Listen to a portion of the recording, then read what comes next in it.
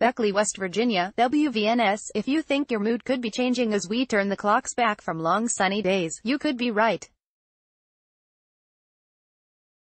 It's called seasonal affective disorder, and across America between 4 to 6% of the population experience seasonal depression.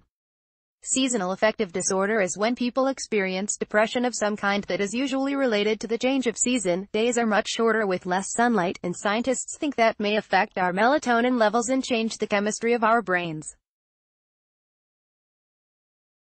While turning the clocks back and lack of sunlight can be a few causes, Director of Life Strategies Counseling, Hamlet Smith, said the pressure of the holidays can play a huge role on changing moods as well, especially with the holidays approaching, people's schedules get busier and they have more time to think about lost loved ones while trying to pull off that perfect Thanksgiving or Christmas dinner, Smith said.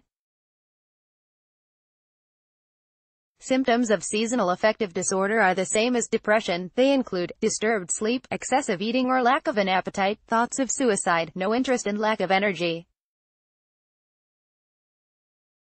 Those who suffer can be treated the same as those with depression. Research indicates that people improve with seasonal affective disorder primarily through medical intervention and counseling.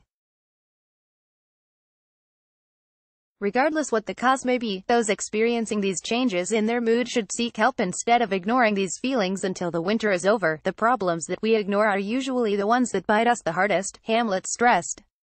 Facing your problems no matter what they are is usually a better remedy than trying to ignore it and soldiering on, what others are clicking on, greater than greater than more stories copyright 2018 Nexstar Broadcasting, Inc. All rights reserved. This material may not be published, broadcast, rewritten, or redistributed.